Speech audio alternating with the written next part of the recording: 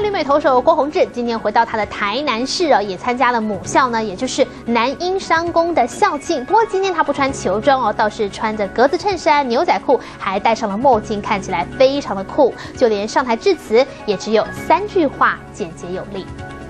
今年在美国职棒大联盟表现优异的郭宏志，上午回到台南市母校南英商工，格子衬衫加上牛仔裤，还搭配墨镜，造型很酷，连上台致辞也很有风格。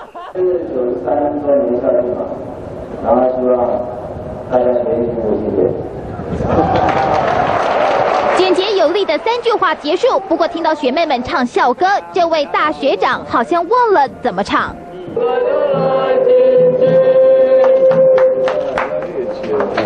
不会唱没关系，拍拍手聊表心意。但回到母校见见师长，当年棒球生涯从这里开始。郭宏志也以学长的身份探望棒球队学弟。